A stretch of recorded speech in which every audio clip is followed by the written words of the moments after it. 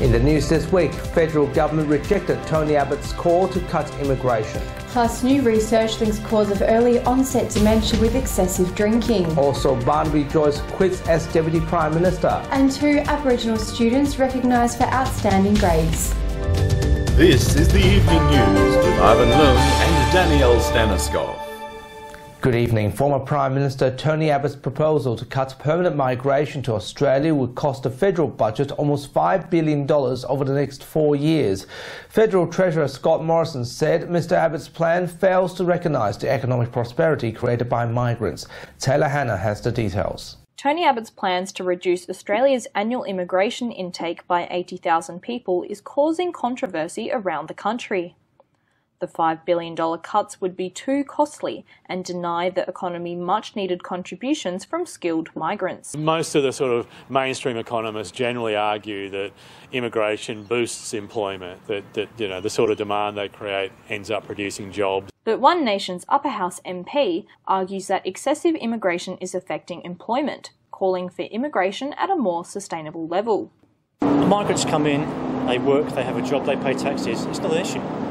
But what is an issue is the driving of wages lower for local people who are already in Australia. The West Australian citizens who struggle to get work because they're being outcompeted is an issue. Migration lawyer Lily Chen said Australia will always be an immigration country.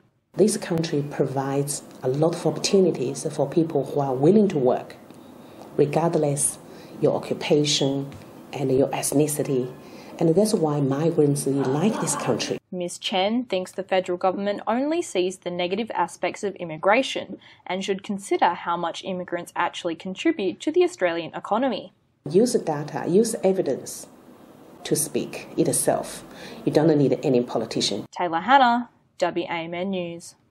Young people are warned to curb excessive drinking for their future mental health, with new research revealing most early onset dementia is caused by too much alcohol.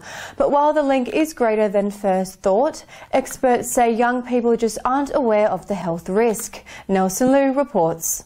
We're a nation of social drinkers, but now too much alcohol could affect our mental health sooner. It's going to be a considerable uh, problem. A study published by the Lancet Public Health Journal reveals nearly 6 in 10 people were diagnosed with early onset dementia from heavy drinking. The study shows young heavy drinkers develop the condition before the age of 65.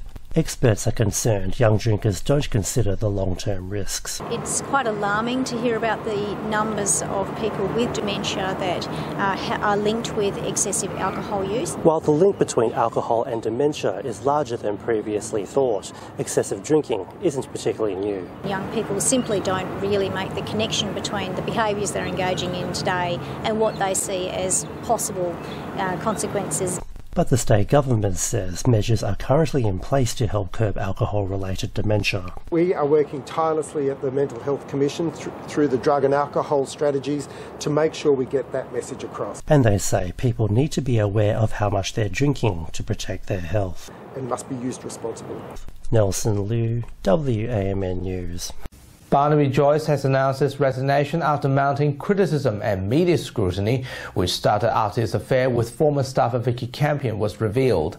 The former Deputy Prime Minister and Federal Nationals leader said on Friday that his resignation should act as a circuit breaker to end the discussion while taking the attention of the last few weeks of his party and his family. Mr. Joyce will remain as the member for New England and his resignation will go into effect on Monday. Telethon Kids Institute researcher and Children's Hospital audiologist Dr. Chris Brennan Jones has been awarded funding to increase early detection and treatment for childhood ear infections. Otitis media is a middle ear infection which affects more than half of all Aboriginal children, causing lifelong hearing impairment and delayed development. If it means that we can get more screening done during that time, it means that we can get to those kids earlier in the in the life of their disease, and what it means is that we mean it, we can get treatment to them quicker. The program will also improve the delivery of routine audiology assessments, reducing the waiting time by two and a half years. A 22-year-old Norra man has been charged in relation to a robbery incident. A woman pulled into Belmont Racecourse car park where she was talking on the phone. Then the man approached the driver's door of the white Range Rover. allegedly pulled and forced her out of the vehicle before driving away. Police air wing units were deployed and monitored the vehicle until it came to a stop on Hepburn Avenue after running out of fuel. The driver and three other passengers were arrested. The man was charged with various offences and was refused bail. The UN Security Council has failed to reach a deal on a ceasefire agreement for Syria, with Russia aiming to present a resolution allowing civilians to escalate from eastern Ghouta region. As the negotiations continue to drag on, Syrian government forces have been pushing into the rebel stronghold, with more than 400 people killed. The United States, France and Britain are pushing for a vote as soon as possible. Britain is seeking a longer period to end the Brexit transition with the aim to push the proposed period to the 31st of December 2020. Britain justified that the extension is needed in order to strike a trade deal with the EU. However, it is understood that a new trade deal cannot be signed until after the UK leave the Union. Currently, the negotiations are underway as the UK seeks a transition period for local residents and businesses. And finally this week, two of Western Australia's highest performing Aboriginal students have been awarded with the 2017 Rob Riley Memorial Prize. John Curtin College of Arts graduate Ashley Moroney received the ATAR Prize. Meanwhile, Belmont City College graduate Kieran Davies received the VET Prize. Minister Sue Ellery noted the importance of role models to students and praised the example set by Ashley and Kieran. Role models are important for every student, and for Ashley and Keenan, they're demonstrating to other Indigenous students that uh, you can achieve whatever you set your mind to achieve. It wasn't really, I didn't expect it, so it was just, yeah, it was exciting to know I'd won it, but also, yeah, humbling as well. Just to... Well, congratulations to both of them. And that's our weekly news and current affairs. You can catch up with the latest news on our website and Facebook. From Daniel, myself, and rest of the team until 8 o'clock next Sunday, a very good evening to you. Good night. Thank you.